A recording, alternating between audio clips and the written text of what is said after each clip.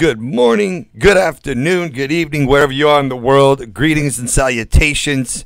Boy, it has been a roller coaster of a ride here in 2020. It could be no doubt.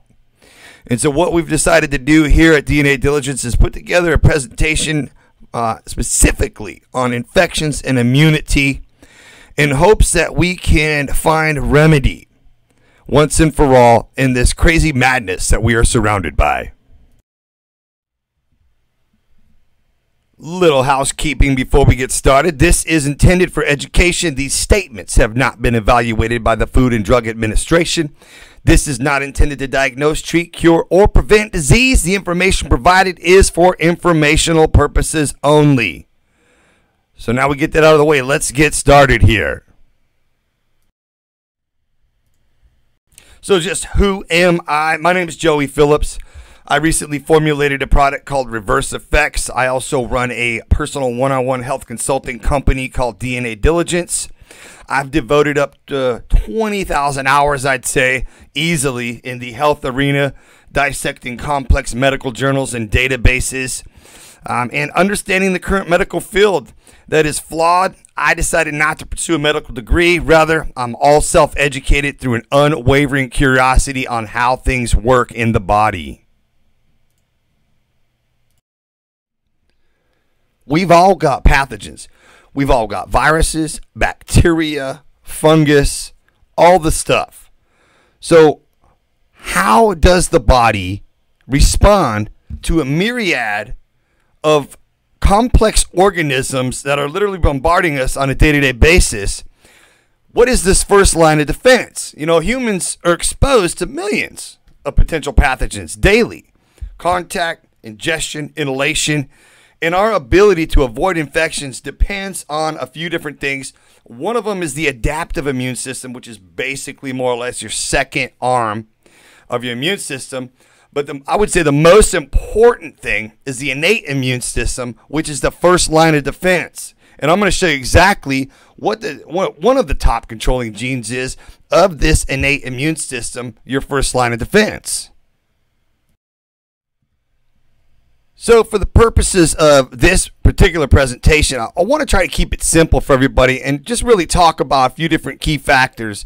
And if you notice in the uh, picture here, uh, image, the MBL located just a kitty corner top left of the pathogen, which is kind of in the pink there. That MBL stands for mannose binding lectin. Okay, so there is a whole bunch of stuff going on in this image. And um, eh, one of the most important things to understand about this is what is, what is the first contact point of a pathogen going to be? That really needs to be the primary focus of where you put your ammunition and your defense system so that you can guard yourself against anything that possibly comes your way.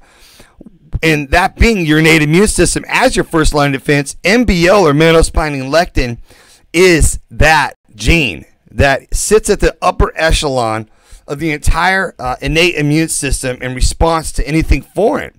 It also helps to uh, recognize things in your body that are not supposed to be there as well, right? So anything foreign and the recognition of self versus non-self, which has major implications in things like autoimmune disorders. So before I get started on showing you exactly how to regulate this uh, innate immune system, mannose binding lectin, things of that nature, I want to kind of talk about the allopathic route that has failed so many people in epic proportions through this pharmaceutical approach. Like literally, it's a band aid approach. It only masks the symptoms, comes with all different kinds of side effects more or less is disease management and just happens to be the third leading cause of death in this country. So, you know, most people start off, you know, they're not feeling well. They'll they'll go see the, you know the doctor, which has its place. Don't get me wrong. Um, then the doctor is going to prescribe, you know, some sort of uh, some sort of pill or quick fix, and you know that might work for a short period of time and and then you know 15 years later you open up your medicine cabinet and you're like how the heck did i get here you know one bottle turned into turned into three, turned into five, turned into fifteen, and, and pretty soon you're taking you know uh, one medication just the symptoms of the other medication. And this is not a sustainable model, guys. This is absolutely not a sustainable model. There is a better way, and I'd like to show you exactly uh, what you can do and put some more tools in your toolbox. And if that's the case, do we see evidence of that in ancient texts? And the answer is yes, we do. So this word, iatrogenesis or iatrogenesis, however you want to pronounce it, is the causation of disease or harmful complication or other ill effects by any medical activity, right? Including diagnosis, intervention, error, negligence. That includes overprescribing, misprescribing, etc., etc., unnecessary, uh, you know, medical procedures, all the stuff, guys. This this adds up uh, to basically be the third leading cause of death. And so when we look back in ancient texts, we look in the Bible, um, Mark 5 26 even talks about this that the fact that she had suffered a great deal under the care of many doctors and had spent all that she had, yet instead of getting better, she grew worse. That, my friends, is evidence in the ancient text that speaks to this matter, right? Yet even in his disease, he did not seek the Lord, but sought help from physicians. Second Chronicles 6 12. So we do see evidence in ancient texts that talk about the fact that um, physicians aren't always on the right side of things. God bless their soul. They take an oath, um, you know, but the fact of the matter is, uh, you know, we wouldn't be in this sad state of affairs um, if the things that they're employing, the tools in their toolbox, actually worked.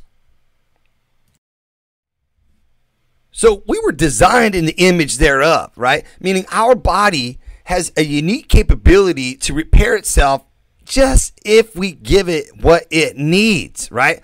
So then man comes along and says, no, you know, we, we don't think that, uh, you know, your creation was, um, you know, necessarily supreme of all things. And, and we're going to try to make it better. And, uh, you know, we're going to, we're going to start introducing things into the body, um, you know, that are basically manipulated biomolecules, right? And so then you have this, this constant battle between man versus nature, right? Nature being the master of craftsman of molecules, and it stands as an infinite source of resource for drugs, right?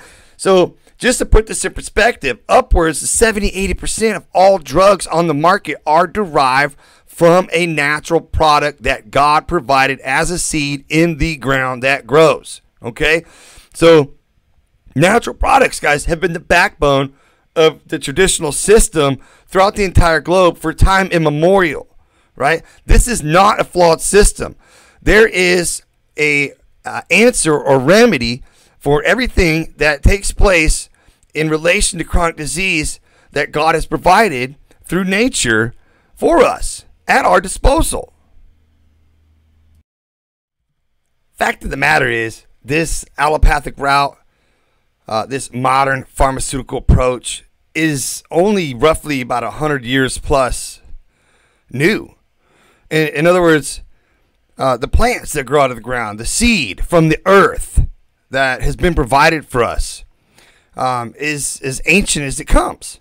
So these ancient remedies trump modern pharmaceutical approach um, almost across the board every single time, no question, no doubt. Uh, you know, and, and the food that we eat, that we consume, should be thy medicine. Let thy food be thy medicine, and let thy medicine be thy food. Right? So this whole idea that that uh, the pharmaceutical approach uh, trumps nature is a fallacy. That which has been is what will be, that which is done is what will be done, and there is nothing new under the sun.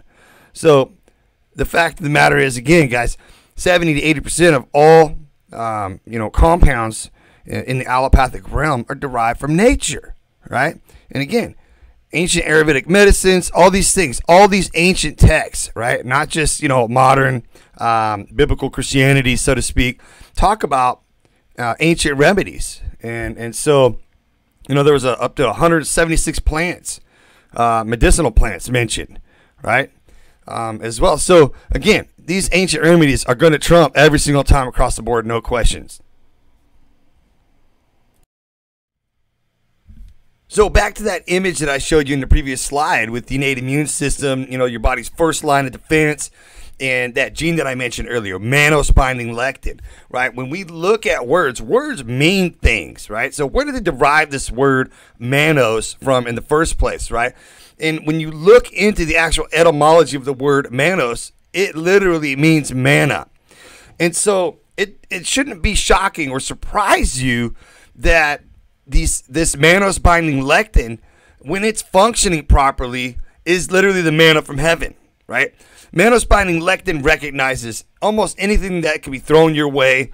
Uh, again, through through contact, inhalation, indigestion, it recognizes viruses, bacteria, fungus, mycoplasma, all the stuff, right? So this receptor, these receptors, these mannose receptors, they primarily use a few different compounds that you can literally go out and buy in a supplement form, right? D-mannose, N-acetylglucosamine, and fucose, which is uh, basically a, a, seaweed polysaccharide. It's a, it's a sugar compound, right? Um, in the form of bladderwrack. And these three compounds play an absolute pivotal role in the first line of defense, the innate immune system, and subsequently your second of adaptive immune system as well. So, a lot of studies surrounding mannose-binding lectin, you'll find um, that with the decreased levels of this mannose-binding lectin, the, the body's not able to detect that something uh, there is foreign to begin with, and so these these stealth pathogens, um, you know, are able to hide basically uh, from from the immune system, so that the immune system doesn't recognize that they're there to begin with, right? So how's your body going to fight something that doesn't know it's there to begin with, right? And there's a there's another way in which these these stealth pathogens use to basically hide the mannose um, from your body. In other words, to make this this this receptor, this mannose binding lectin gene, um, not function correctly, so that your body can't mount proper attack initially. So these complex sugars, right? These these mannose, this this N-acetylglucosamine, uh, the bladderwrack or fucose, you know, uh, these are basically um, uh, you know sugar compounds um, that in the research you'll find the term called glycoimmunology or glycans, right? And so by sensing the type of sugar coat that's present on the cell surface receptor, our immune system can identify other cells as friend or foe, self versus non self. Again, back to having the ability to kill off a pathogen uh, rather than your, your body's immune system attacking itself. is really kind of what we're talking about here. So, this is at the upper echelon of everything that takes place with the immune system, guys, right? And these um, these complex sugars, um, you know, in relation to these viruses and, and these bacteria um, that are that are involved with the immune system, they like to cloak themselves and basically hide themselves. Say, no, I'm I'm just like you. Don't attack me, right? Saying to your immune system, don't attack me. I'm just like you, right? So this is how they kind of hide. And it's it's your body's uh, job when it has the right tools. Again, back to those main three compounds: the mannose, N-acetylglucosamine, and bladderwrack. When you have those three uh, key components in place, these uh, stealth pathogens are not able to hide any longer, right? I always say it's like shining a black light into the darkness, and you can literally see all the, you know, the little white specks, for example, you know, and so it it literally turns your immune system on God mode, guys. When you combine these three key molecules, right? This this study of glycoimmunology and, and these complex sugar molecules in relation to your immune system uh, really control the the whole body itself, uh, because you know we are again we're highly adaptive and when we have the right things in place, the right tools in our toolbox, our body will adapt to anything that's thrown its way. Again, back to these complex sugar, sugar molecules. So um, on the last slide, I showed you kind of how that works, but more importantly, this way in which these stealth pathogens like to hide, guys, it's called sialic acid receptors. I'm going to talk about that on, on the next slide here. So the sialic acid literally hides the mannose on the cell surface receptor from mannose binding lectin. So this prevents the activation of your second arm of your immune system, your adaptive immune system. So the salicylic acid, right, is again, it's, it's one of those sugar molecules. It's an acidic sugar. It helps the pathogens evade the initial first line of defense, right? Salicylic acids also play an important role in all different kinds of viruses, right? Just about any kind of pathogen you could possibly think of. Um, these these mechanisms in your body, the way we were created, um, oftentimes get hijacked, right? So if you've got the right tools in place in your toolbox, you can fight these things off, no questions asked. So things like um, you know, the pharmaceutical approach, things like Tamiflu, these are called viral neuraminidase inhibitors. Okay. And without getting too technical, they're attempting to stop the spread of the virus, right? So when a virus first attaches to the cell, it's using um, what's called hemagglutinin receptor. And then on the back end, when it goes to cut itself off and spread to the next cell, it's using, um, you know, basically neuraminidase. All those things, hemagglutinin and neuraminidase, simply put, guys, can be encompassed into the sialic acid realm, right? So again, sialic acid hides the mannose, prevents your body from kickstarting the innate and adaptive immune response most pathogens use sialic acid receptors to their benefit, and the pharmaceutical approach um, has been to inhibit neuraminidase, this enzyme that's found in your body, right? And so the studies show that skullcap and licorice root are natural viral neuraminidase inhibitors. So now, when you combine D-mannose, N-acetylglucosamine, bladderwrack, Chinese skullcap, and licorice root. Together, those five compounds together, you can flag any foreign invader, and even if it does slip by through the cracks, you can stop it on the back end from replicating with these compounds. Extremely powerful. I'm giving you guys literally the keys of the kingdom here, the, the secrets of the universe, if you will. These sugar compounds, uh, this this idea of glycoimmunology um, exceeds in order of magnitude RNA and DNA itself. I cannot tell you how important this is for you to understand. If you need to pause this, rewind it, do it over and over and over and over and over again. Mannose receptors and sialic acid receptors are the two main uh, ways in, in which uh, stealth pathogens of any kind, including what we're dealing with today, utilize to be able to infect you. Okay? I want you to understand that. I'm going to repeat this over and over and over. If you've been following me for a while, you know this by now. Right? I know this stuff may be foreign to you. You've never heard it before. And it can be completely complicated.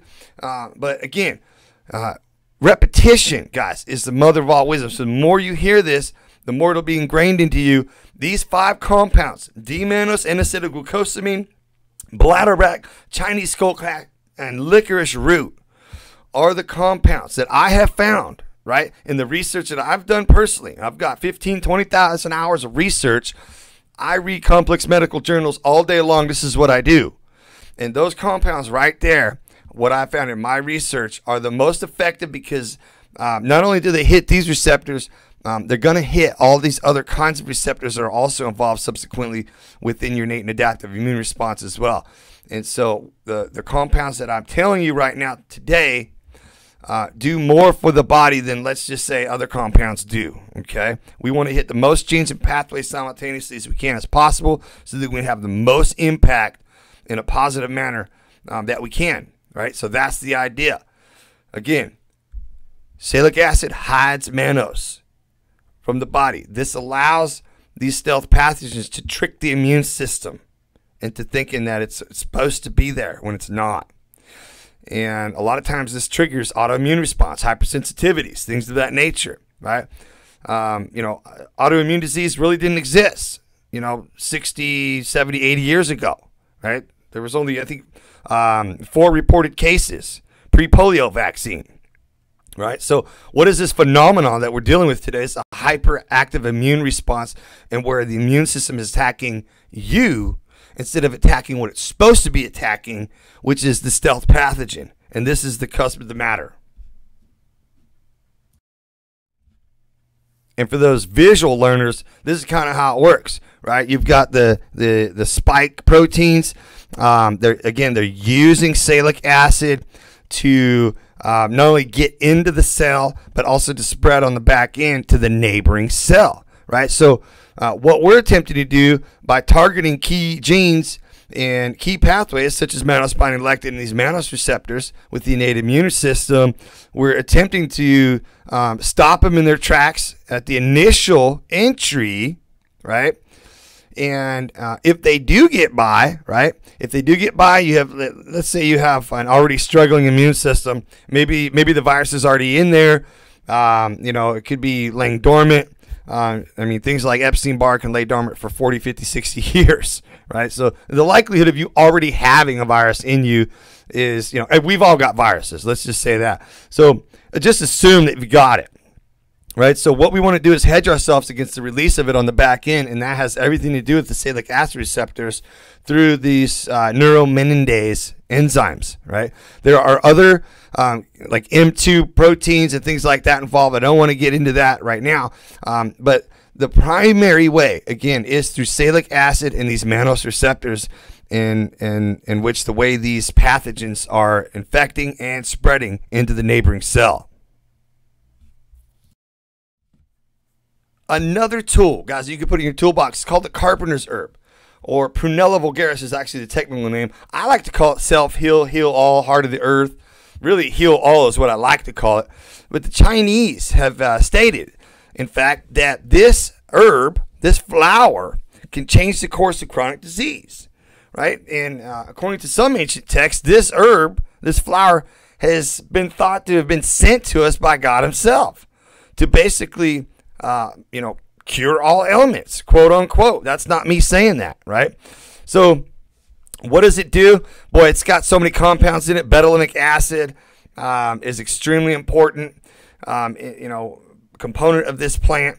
But studies have shown uh, it to possess a wide variety of pharmacological effects, including antioxidant, anti-inflammatory, especially antiviral, antimicrobial, antibacterial, and immunomodulatory effects.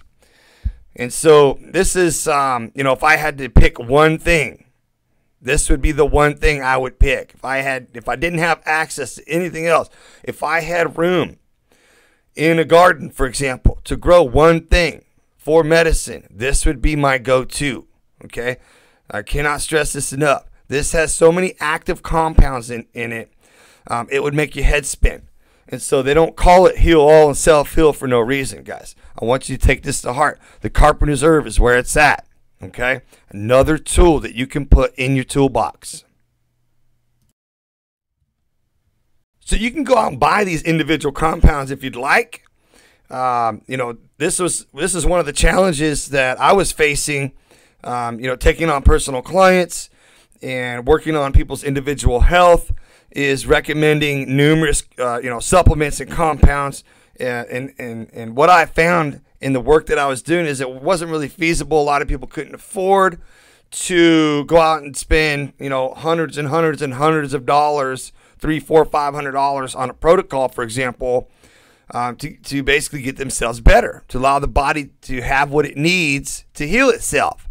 Right. So this is one of the reasons um, you know, why, uh, you know, I basically formulated ReverseFX is is to do just that is to cut down and be able to minimize how many things you're having to go out there and buy. There's listen, there's 22 ingredients in ReverseFX, right? I've only mentioned several key ones here in this presentation. The D-mannose, the N-acetylglucosamine, the bladderwrack, the skullcap, the licorice, the heal all, Prunella vulgaris. These are all key components um, that, that are found in, in ReverseFX to be able to have the proper immune response, but not only have the proper immune response, to also have the proper inflammatory response. Right now, that's a hot button. This uh, this word cytokine storm is a is an extremely hot topic right now. We've got all different kinds of compounds in this formulation to basically initiate the proper immune response upon infection and to be able to mitigate on the back end the proper inflammatory response as well so that the the inflammation signal um, you know isn't turned on for too long because that's that's really where the damage comes right um, you know if you've if you've been in the health industry for any time or, or you know been involved in researching health, they they say that inflammation is the root cause of all disease. It's when that signal you need inflammation, right? So let me get this straight. You need inflammation, and you know, in the way that you know a child has a fever and things of that nature. It's your body's way of fighting things off. The problem is when that signal gets turned on for too long. This is the problem. This is the cytokine storm, right? There are numerous compounds found in ReverseFX that can mitigate this cytokine storm, this you know inflammatory response um, that that takes place as a result of your body attacking a, foreign invader. Right? We need to be able to have the right immune response, yet turn off the inflammatory signal when it needs to be turned off. And that was the purpose and the intention basically surrounding this formulation as well. So again, you can go out and buy um, you know tons of different compounds, different supplements, spend three, four, five hundred dollars doing it. Um, or you can just cut to the chase, guys. Believe me, I've done the research, I've done the homework. Uh, I have put this formulation together. Uh, I believe everyone in the world should be on uh, ReverseFX. It is that powerful. There are numerous studies behind the ingredients on this. And believe me when I tell you, again, this is, uh, you know, going to be your number one go-to for the immune inflammatory response systems in the body dealing with anything that's foreign. An ounce of prevention is worth a pound of cure. Guys, if you're not taking care of your health now and, and, and beginning the process of hedging yourself, you know, especially when you get up into the, you know, the 40s. I'm 42 right now. Um, moving into 43 you know I'm, I'm at that age now where i got to start thinking about these types of things you know when you're young you trip you fall you know you get you get a bump on your on your knee you know you can you can regenerate from that. You can you know restore quicker from those things. But you know when you get older you got to hedge yourself right against everything that's thrown your way. So an ounce of prevention is worth a pound of cure. And if you're not taking care of this most magnificent machine that you will ever be given where are you going to live? What are you going to do? Right?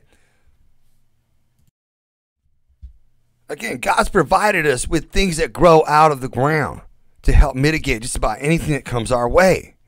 And, and speaking specifically with herbs that have extremely powerful antiviral activity, we can talk about things like oregano, rosemary, thyme, sage, basil, garlic, you know, lemon balm, echinacea, elderberry, astragalus, ginger, ginseng, dandelion, peppermint. The list goes on and on and on and on. So I'm not here telling you that that the, the you know the ingredients in ReverseFX are the only thing that's out there right? I have a personal garden that I grow. I'm growing oregano. I'm growing rosemary. I'm growing thyme. I'm growing sage, basil, garlic, lemon balm, echinacea, ginger. Dandelion just grows everywhere, right? So I'm literally trying to grow these things. And the purpose of that is to have a backup plan, right? What if I can't get access to, you know, XYZ? You know, I need to have a backup plan. I need to be able to provide for my family. I've got two beautiful daughters and a, and a beautiful wife. And, you know, I've always had this kind of green thumb and I've always been interested in kind of making my own medicines, if you will. And, and the research that I've done, guys, these are things that, that are not hard to grow. You can literally grow these in your backyard, right? And uh, I want to try to show you exactly what you can do with these things, you know, after they start coming out of the ground right? They're not just for, for looks, they're not just ornamental. You can actually make medicines out of this, and I want to try to show you how to do that briefly.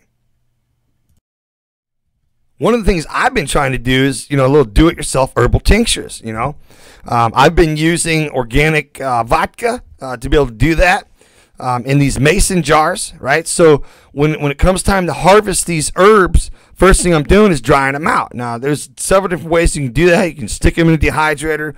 You can stick them in the sun to dehydrate. You can bundle them up and hang them from your window if you want. Um, you know, but the idea is to dry these out because then be, they become more potent once they're dry. Okay. Uh, you know, you can do fresh herbs in, in an herbal tincture, but I'm here to tell you that when you dry them out, they're more potent. Okay. And so, again, a lot of herbalists prefer uh, something neutral like a vodka so that the taste of the herb comes through. But you can literally use any spirit if you want. Uh, you know, herbal tinctures, you can make anything. You can use the dried flower. You have to research on this on your own as far as each individual plant.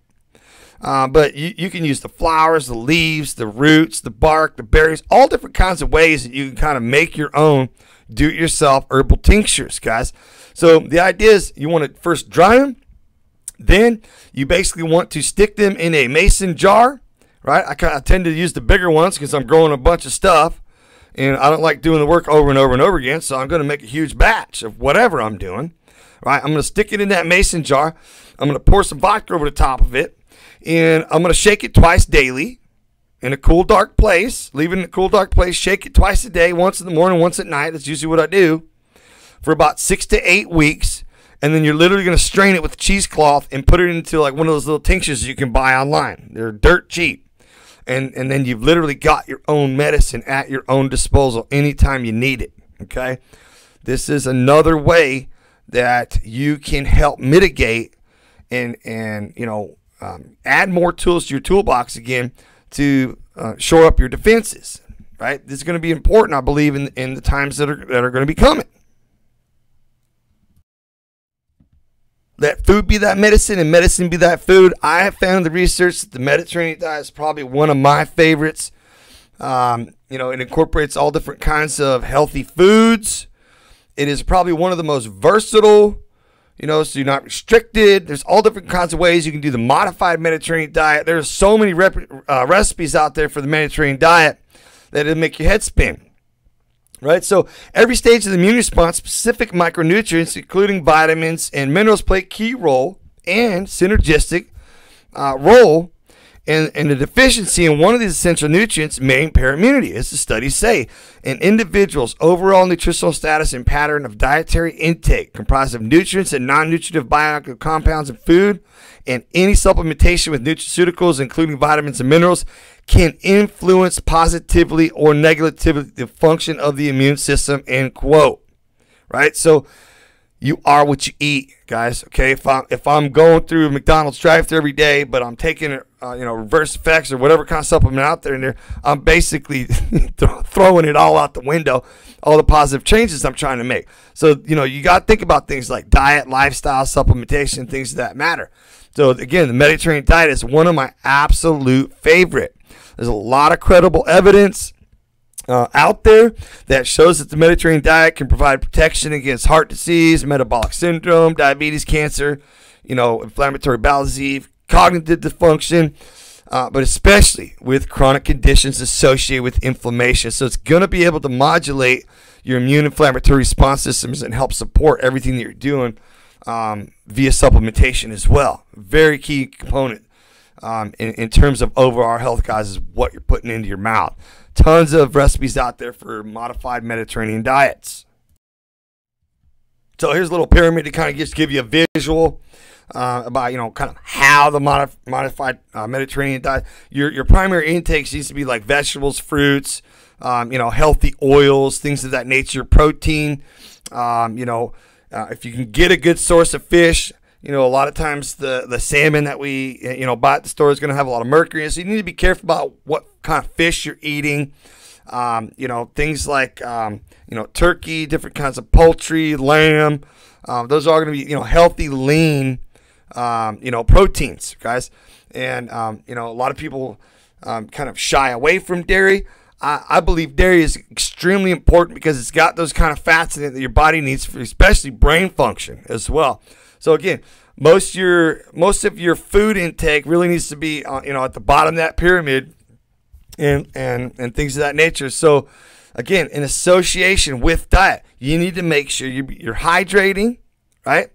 And you need to try at least uh, be active at least 20 minutes a day. Get out in the sunshine, get that vitamin D, help boost that immune system. Uh, drink plenty of fluids, help flush all that those toxins out of the cells and, and you'll just be one more step ahead of the game.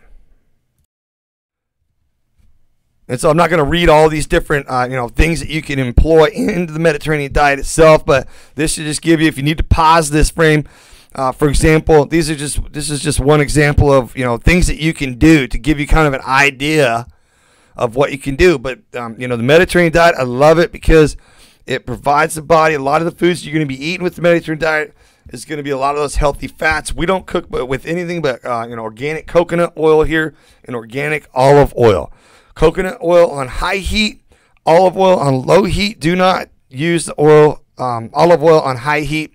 Um, you know, it, that's not a good thing for your health either. You can look into that. I'm not gonna, you know, go into the studies on that, but you know, we use a lot of coconut um, oil to cook with in this household. Okay, and so we eat a lot of fresh, uh, fresh veggies from the garden. We grow a lot of our own food. We like to know where our food's coming from. Just because it says organic on there anymore, unfortunately, guys, doesn't necessarily mean at the last stage of the process they're not putting something on that. Okay, important for you to understand. So if if you want the the best food security of what you're putting into your body, you need to be at least moving in that direction. Getting the seed and start the process. Begin start growing your own food. Doesn't matter where you start. You know, it just matters that you start. Start with something in your windowsill. Doesn't matter. Okay, so this is the idea of 100% self-sufficiency, not dependent on any other outside, you know, resource um, you know, is is the ultimate goal here. You know, as far as I'm concerned, you know, in relation to your health, you want to be, you know, you want to bulletproof yourself. You got to be able to have access to clean food, right? And and in, in this day and age, growing your own food seems to be one of the last options to be able to do that. And so, go ahead and look through this list if you need more time. There's again, there's tons of diets uh, out there, or tons of recipes for the Mediterranean diet out there. So please feel free uh, to do your own research on that. And so, another key component to your body's immune system, inflammatory response system, is going to be minerals and trace elements. Without the minerals, you can eat all the nutrients in the world, but they won't be transported correctly, guys.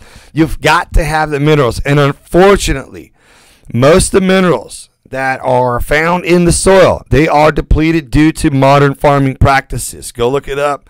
Uh, U.S. Senate document, right? This this stuff is not new news right? So you can you can be uh, you know out there buying organic food and doing all the stuff, doing all the right things, but still being mineral deficient. Unfortunately, this is the situation that we're living in now. Okay, this is the hard reality. You've got to have the minerals to make all of the other, you know, what they call biochemical reactions take place in the body. There are tons of different things in, involved with the immune system and very, you know, specific uh, minerals and trace elements like zinc. Zinc's probably the most important. Um, and you've got copper is important for the immune system. Zinc and copper play off each other. It's important to balance those things out. Selenium deficiency is a real problem, right? Creates more oxidative stress, which makes you more susceptible to infection. Um, there's what three, four hundred biochemical reactions that take place in the body just with magnesium alone. Um, iodine is extremely important for the immune system to help fight infections iron deficiency infects, you know, um, affects hemoglobin, etc., etc. Hemoglobin is really important to transport oxygen. You need oxygen in your cells. That's kind of a big deal right now, especially with the mask. Okay, so you know you can go out and buy each individual one of these, you know, uh, minerals if you'd like, but again, I'm here to help you condense the amount of research and time and money that you're spending, condense those things all down into you know, basically tiny nuggets you can extract from this information to be able to take actionable steps right away to be able to get all these things in your body that you need. Okay? And so, what I found in my research is that fulvic acid is a great answer to that mineral deficiency that impacts the, the immune inflammatory response systems in the body, right? Fulvic acid contains pretty much every single trace element and nutrient or mineral that your body needs. It reduces oxidative stress, provides the most powerful electrolyte for ATP in the body, your body's cellular energy for mitochondria function. Uh, you know, creates an alkaline environment, has anti-aging property, and one of my favorites right now, guys, with everyone walking around wearing these masks, what do you think the masks are doing to people? They are depleting oxygen of the body creating what they call a hypoxic environment in the body. You cannot deplete oxygen for prolonged periods of time. Your immune system will not function correctly. Okay, there's tons of studies on hypoxia and the immune system. Go out, just research those two things hypoxia and immune function. It's kind of a big deal. And so, if you have to, wear a mask. You need to be able to hedge yourself and increase your oxygen. That's what this fulvic acid can do for you. It can increase your oxygen up to 45%. Also, fulvic acid, um, you know, provides uh, healthy for, for healthy brain function, regenerate cells, all different kinds of things that are involved with the overall health, especially immune system, with a fulvic acid. I've already done videos on this in the past. Fulvic acid is one of those go-to things that's an absolute must. Sleep, guys. Sleep's also extremely important when we're talking about the immune system. This is the time that your immune system resets itself, right? So if you're not getting proper sleep, it's going to impact you. And that's a huge problem nowadays, especially with the modern devices. Everyone's up late doing something, right? It's just not enough time in the day. You hear it over and over and over again, right? So if you're not getting the right amount of sleep, seven, eight hours a day minimum, really, you're going to suffer, right? So sleep and immunity are bidirectionally linked.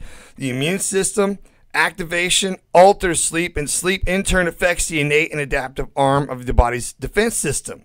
So a good night's sleep is commonly recommended as the best medicine, along with laughter. I hear laughter is the best medicine. Well, so is sleep, uh, especially against infectious diseases.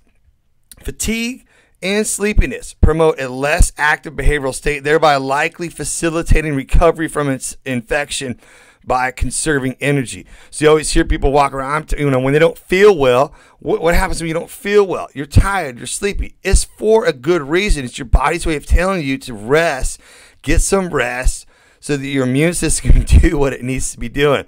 The enhancement of sleep during an infection is assumed to be the feedback of immune system to, to promote host defense.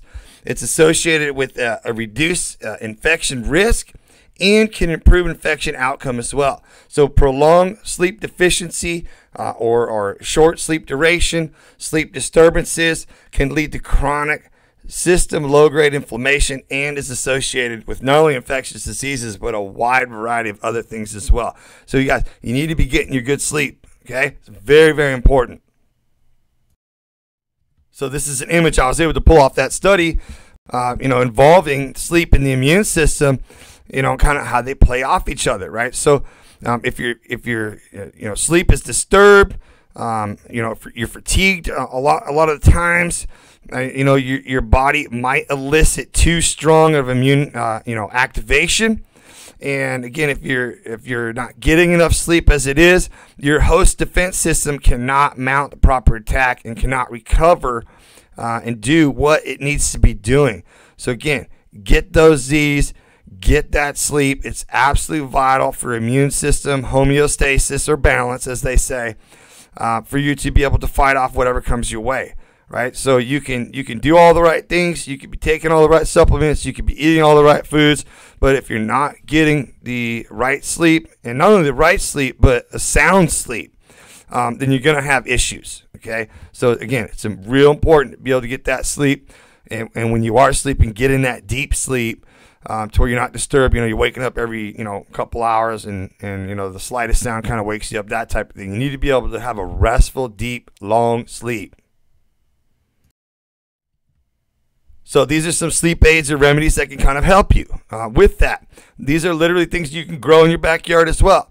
We've got chamomile, lemon balm, uh, valerian, passion flower. Those are things we have growing in our garden right now um, as well. I could easily throw some lavender out there. But you guys, these are these are sleep aids that you can literally grow out of the ground. You can go out and buy GABA, melatonin's, uh, you know, um, uh, good for sleep. However, I don't recommend being on melatonin for a long period of time. Um, as you can kind of create dependency on that, and there's a lot of research behind there. Kava, tryptophan, L-theanine, all these things that that God's created um, through nature, through that seed growing out of the ground that you can literally employ and, and put into your toolbox to help you sleep. Okay. Um, these are real important, right? So if you have a hard time sleeping, again, chamomile, lemon balm, passion flower, those are probably going to be my three go to for that. But there's all different kinds of things out there. These are not the end of it uh, by any means. There's all different kinds of remedies out there that God's provided for us to be able to help us sleep soundly. And consequently, most of these compounds, when you look them up and cross reference them with immune function infectious diseases, they also are antiviral, antibacterial, antifungal. So you're you're fighting the disease off, helping your body sleep, and fighting the disease off literally at the same time. So that's huge for me.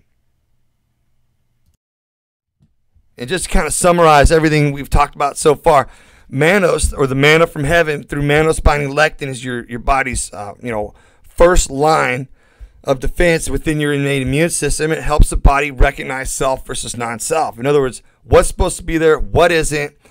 Is my immune system going to attack me, or is it going to attack that which is foreign? Sialic acid hides mannose, and that's what the pathogens like to use to not only infect the cell, but also to spread to the next cell, right? And so, with those two points right there, again, mannose binding lectin, it needs D-mannose, it needs bladderwrack, it needs N-acetylglucosamine. The sialic acid um, receptors need uh, neuraminidase inhibitors, it's called. Uh, Chinese skullcap and licorice root are, are two powerful tools for that. The Mediterranean diet helps to optimize your overall health, including inflammatory immune responses. Mineral deficiencies impact us and play a vital role in infectious diseases and immunity. And sleep is commonly recommended as the best medicine for an infectious disease because that's when your immune system resets itself. Okay, so um, I hope you got some good takeaways from this. Um, those are things that you can do right now. These are actionable steps that you can take. I've provided a few links um, at the end of this slide where you can actually go out and purchase some of these things. Um, but literally, these are some tools that you can put in your toolbox you can do right now. You don't have to wait for the next hydrochloroquine, which consequently they derive from Jesuit's bark, right? Jesuit's bark was an ancient malaria, um, you know, remedy that that was employed years and years ago. You don't have to wait. You can literally go out and do this stuff right now. Okay?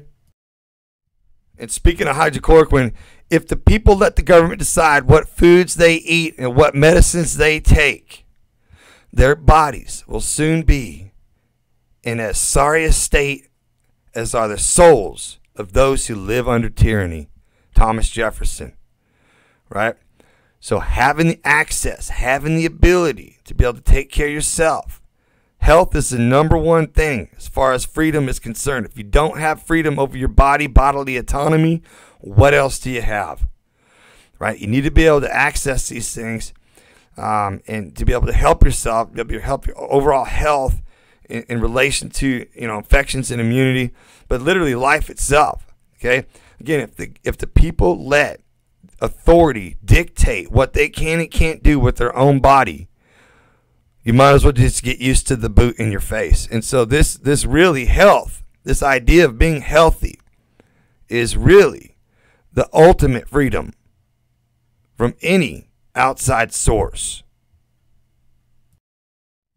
If you've got any other questions, anything I can help you with, I do personal one on one consultations just email me, dnadiligence at, d- at gmail.com. Again, I want to thank you for, for spending this brief amount of time with me. And I look forward to uh, hearing your feedback. And guys, again, your health is the most important thing in the world right now. Uh, if you don't have health, you, you don't have anything. You could have all the money in the world and and gather that money for the rest, you know, the whole first part of your life and at the end of at the end of the road, once your health starts deteriorating, it will drain your bank account and leave you bankrupt. Medical bankruptcy is the number one bankruptcy in the world. I just want to leave you with those thoughts. Invest in yourself today. Take actionable steps. Do something to help yourself so that you can help others. This is what this is all about. Right? Love thy neighbor as thyself. Right? If I'm not helping, if I can't help myself, how the heck am I going to help you? I have to be healthy. I have to be vibrant, full of life to be able to make an impact on anybody else. And that's the bottom line. ReverseFX and fulvic acid, guys, going to be my two go tos for just about anything you're dealing with. You can find them on those links there. You can also find me at www.dnadiligence.com. DNA-diligence.com is the actual URL. You can look me up. I'm all over Facebook, Joey Phillips. Again, I want to thank you for your time, and I hope you have a blessed day, morning, afternoon, wherever you are in this world. I really believe that anything that's done may be undone in the same manner in which it's done in the first place, as long as you have the right tools at your disposal. God bless and be well.